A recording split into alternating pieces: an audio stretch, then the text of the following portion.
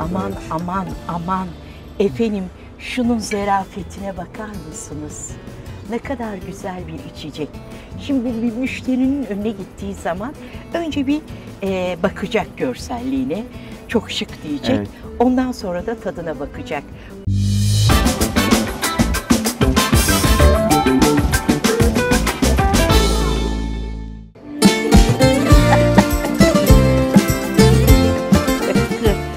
Efendim gördüğünüz gibi önce bir poz, pozumuzu verdik. Serap Soysal'la lezzetli hikayelerde biz Susana Bodrum Eleksel Evet. Oteldeyiz. Burası barımız. Şahane denize nazır bir bar. Meryem'e bayıldım. Barmaid. Ben de bugün barmaid oldum. Evet. Lütfen. İki tane barmaid olduk biz. Şimdi bu senenin olağanüstü moda geçen sene de vardı. Evet. Nesini yapacağız? Affogato. Affogato, evet. Affogato denilen İtalyanların icat ettiği müthiş bir tatlı var. Evet. Nasıl yapılıyor? Söyle bakalım. Öncelikle espressomuzu çekeceğiz. Peki. Espresso kahve çekiliyor gördüğünüz gibi.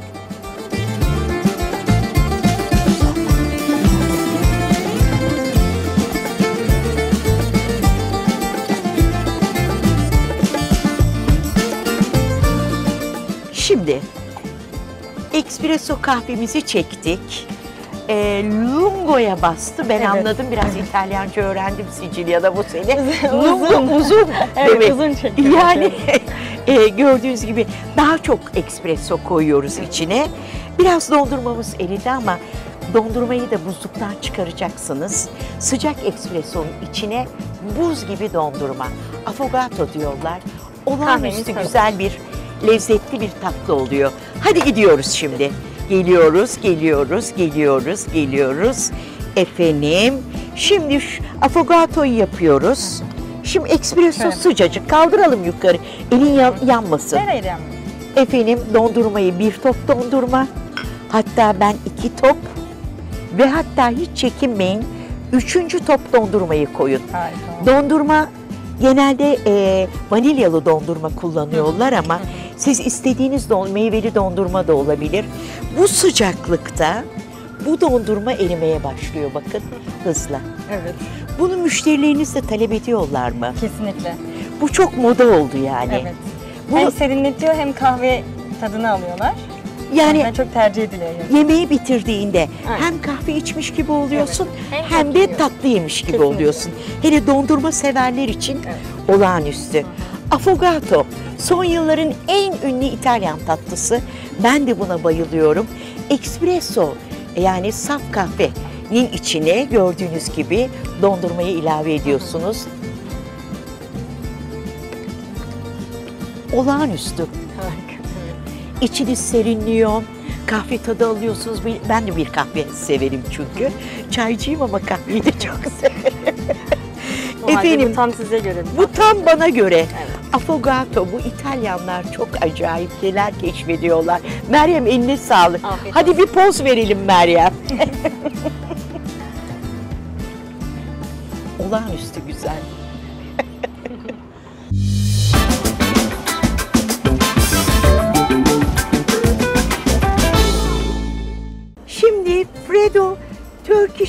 Coffee yapıyoruz efendim. Orijinal bir isim. Bu aslında geleneksel Türk Evet, kahvesini. burada da gelenekselliğe vurgu yapıyoruz. Evet, geleneksel Türk kahvesini böğürtlen ve yağsız süt kremasıyla birleştirerek bir yazlık içecek yapmışlar. Hadi bakalım. Şimdi Önce- burada böğürtlen suyumuz var. Evet, bir de çekilmiş, hazırlanmış Türk kahvemiz var. Çekilmiş e, Türk kahvesi var, pişirildi, Evet. soğutuldu. Şimdi onu süzecekler. Pekala. Neler üretiyoruz tabii. Bu Türk kahvesi. Evet. Süzdük. Evet. Pekala. Telveler kaldı dışarıda. Evet. Sonra bunun içine buz koydunuz. Evet, altında buz var. Pekala. bu karadutumuzdan ekleyeceğiz yine biraz. Tamam. Yine ölçekle yapıyoruz Evet. değil mi? Bu O kahve döktüğüm kahve yaklaşık 5-6 siyer kadardı. Bu da 3 siyer kadar. evet tam arka 3 tarafı. santilitre Evet. kadardır. Biliyorsunuz değil mi? Efendim mililitre, sa- santilitre, mil, kalitre. Yıllarca bunu öğrettiler o Evet, doğrudur. Ben de santilitre, mililitreleri öğrendim. Evet, Sonra- şimdi bu- buzun içine kahve ile böğürtlen suyu Pekala.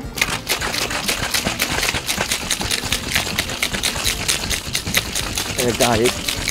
Elimiz şöyle soğuyana kadar tutarsanız mesela şöyle Peki. soğuyana kadar şekliyoruz. Şöyle Şey- ben de şöyle Evet, siz de lütfen. şöyle öğrendim. Evet. Böyle mi? Şu aşağıdan da tutarsanız şöyle, Şöyle. alttan. Evet. Alttan. Evet gayet iyisiniz. Süper. Mükemmel Sara Hanım. Değil mi? Meryem öğretti. Meryem mükemmel bir isteğimiz var. ben de kendimi de salladım. Çok iyiydim. Süper. Aroması kuvvetlendi şu an. Aroması Siz- kuvvetlendi. e, e, Siz elinizdeydi. Ee, bir de köpürüyor işte. Evet. Bu bu shaker işi köpük için bakar mısınız müthiş bir köpük oluştu. Sonra bunu efendim bu süzgeci göstermek istiyorum. Hayatımda gördüğüm en güzel süzgeç. Şurada bir kuru kafa var, burada da şekiller var. Şu zerafetine bakın. Bu da bar e, barlarda kullanılan Evet, strainer. Evet, strainer dedikleri bir süzgeç. Hadi süzelim bakalım. Evet, içine Şöyle yerleştiriyorsunuz. tutma yeri var. Tam oraya Tut- koyuyoruz. evet, Şöyle yerleşiyor. Güzel.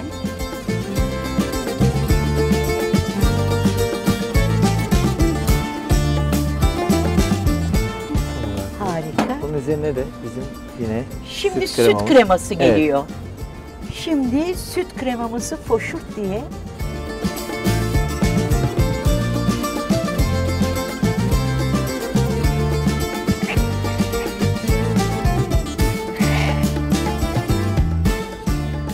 Aman aman aman efendim şunun zerafetine bakar mısınız? Ne kadar güzel bir içecek. Şimdi bir müşterinin önüne gittiği zaman önce bir e, bakacak görselliğine. Çok şık diyecek. Evet. Ondan sonra da tadına bakacak. Bu da böğürtlenli, Türk kahveli. Yani geleneksellik katmışlar. Bu harika bir dokunuş olmuş. Üstüne de bir süt kreması koyuyorlar. Çok teşekkür ediyoruz. Afiyetler olsun efendim. Umarım bizim bu e, kokteyller serimizi beğenmişsinizdir. Evet. Görüşmek üzere, hoşçakalın. Bu deneyimleri tatmaya bekliyoruz. Evet, bu deneyimleri tatmaya hepinizi bekliyoruz. Su sanat. Şu shaker'ı bir daha sallasam ben. Olur. Tabii ki de hemen hazırlıyorum.